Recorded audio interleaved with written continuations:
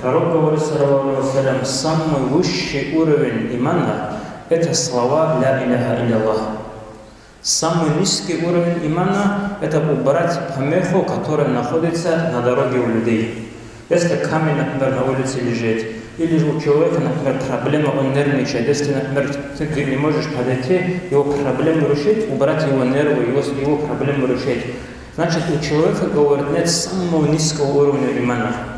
Сейчас такой момент такой противоречивый получается по нашей логике. Человек, допустим, сейчас вот Рузман закончится, будет зикру, салават делать, Коран будет читать, там хадисы будет рассказывать, все будет делать. Но он может, например, он там впереди машину поставить, прямо на дороге, и человек не сможет выехать.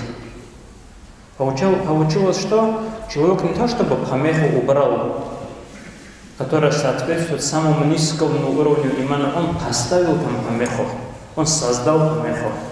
И в то же время он здесь сидит, и ля иляха илlallah говорит, самый высший уровень имана соблюдает, о котором говорил пророк, саллиллаху самый высший уровень имана, это самый старший класс, это слова ля иляха илlallah.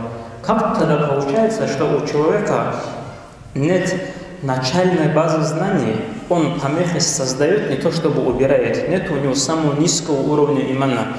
Каким образом он туда наверх запрыгнул к словам «Ля иляха илlallah»? Интересный же вопрос. Вот. На этот вопрос, чтобы ответить, нам нужно понять, что слова «Ля иляха илlallah» – это слова единобожия. Это не то, что языком произносится. Это четкая убежденность мусульманина в том, что Всевышний Аллах един в трех моментах. Аллах един в своей сущности, то есть Аллах бесподобный, Аллах един в своих качествах, в своих сифатах. Если Аллах всемогущий, и у нас есть могущество, это не значит, что у нас что-то общее есть. Это у нас образно называют могущественный. А на самом деле только один Аллах является могущественным, только Аллах, Аллах един в своих качествах, и Аллах един в действиях. Он только создает. Только вот, вот нету такого, чтобы человек сам что-то создавал. Аллах через человека создает, смотря, что человек закажет, на что намерение человек сделает, то Всевышний Аллах и воспроизводит через человека. Но мы этого всего не видим. Мы видим, как мы все это делаем. Мы можем человеку сказать, помоги, человек помогает. Мы думаем, вот он сам все это делает.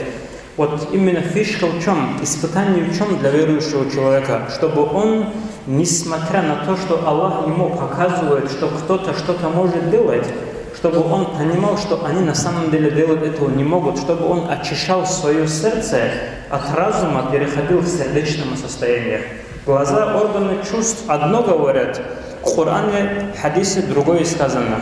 Нам нужно что сделать, чтобы вот уже было полное соответствие, чтобы мы перешли на уровень сердца, и потом разум сам подстроится под наше сердце, а мы наоборот все делаем.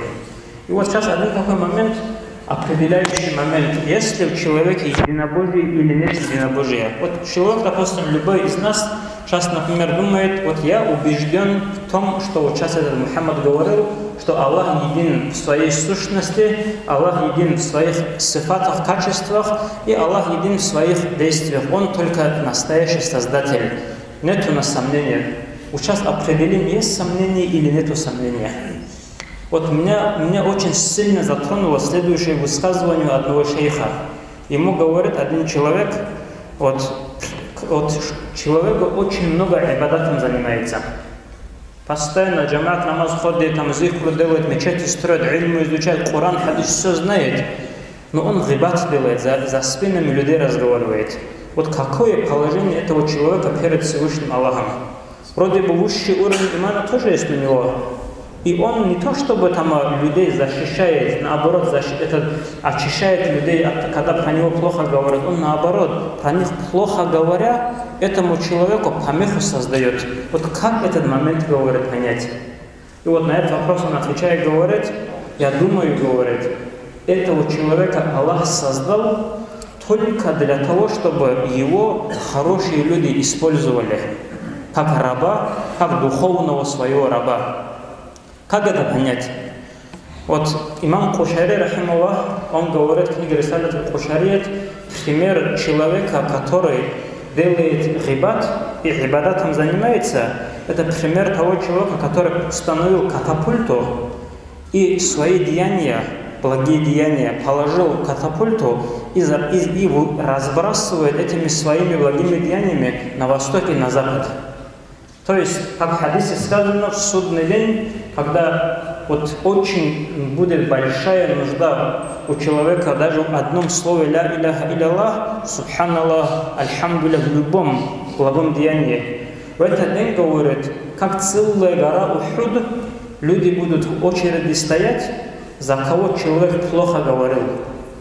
И потом этот человек, он будет вынужден отдать тому, за кого он плохо говорил, там 15 хулгу, 10 тысяч хулгу, 15 тысяч зикру, смотря насколько он ему ущерб нанес. И потом все его благие деяния закончатся, а очередь еще долго длинной будет.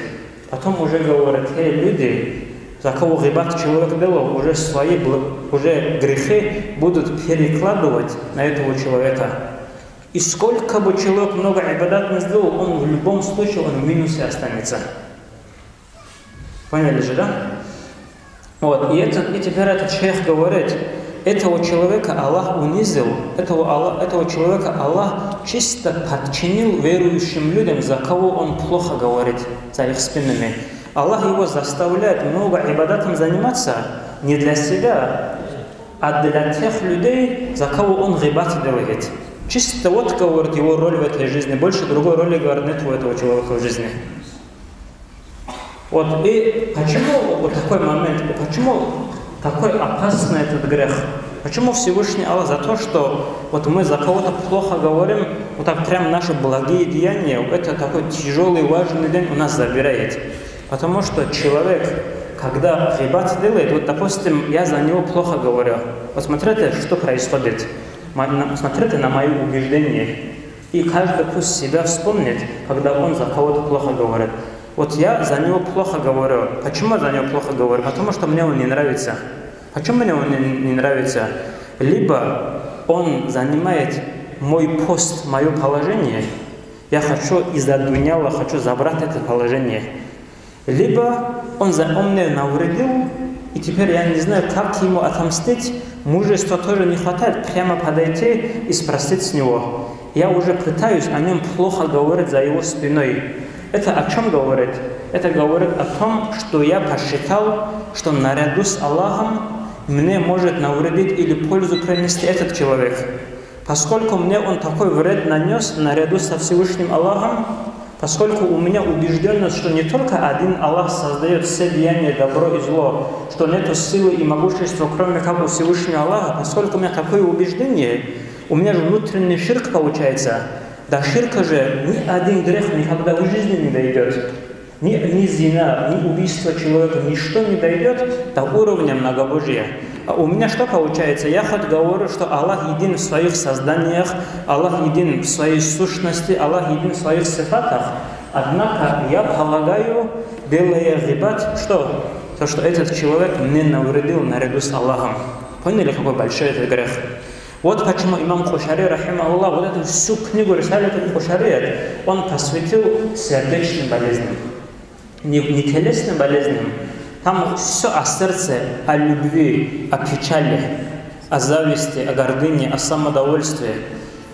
И такие вот моменты, невидимые моменты, сердечные моменты, один только момент, один грех, который имам Кушари упомянул, это рибат. Почему? Потому что это грех не языком, который делается, это грех, который сердцем делается. Потому что человек никогда в жизни не сможет отказаться от этого греха до тех пор, пока он не будет видеть сердцем, что Аллах только является источником добра и зла. До, пока у такого уровня нет, вот, о котором говорил Пророк, самый высший уровень – это слова «Ля иляха илля этот человек, он от рибата не сможет отказаться. Просто для интереса посмотрите, вот пусть сейчас каждый из нас намерение сделает, больше в жизни рибат не делает. Максимум 3-4 дня чего протянет. Почему? Потому что кто-то, Аллах к нему отправит человека, который так ему навредит, он одного, например, все, гибат нельзя делать, это по воле Аллаха произошло, какую-то мелочь вытерпел, вторую более крупную мелочь вытерпел, третью вытерпел, и один день Аллах его по-настоящему, когда испытает, Аллах к нему отправит такую, такое зло через человека, смотря на его грех, и он скажет, не-не, это уже, он за него уже плохо скажет. Уже он забудет, что Аллах Создатель всего является.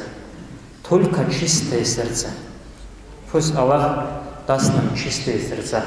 Кроме как люди, у которых чистое сердце, он в рай человек не пойдет, говорит Аллах Коране. يوم لا ينفع مال ولا بنون إلا من أتى الله بقلب سليم.